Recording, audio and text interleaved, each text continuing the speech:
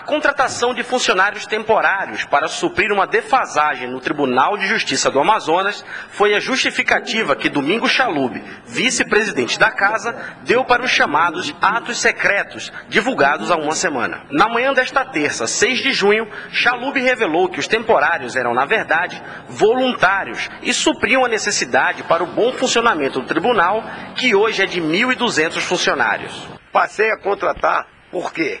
Para não descontinuar o serviço essencial, que é a nossa finalidade, a prestação jurisdicional, com o apoio desses servidores, qualificados ou não, para atender o público.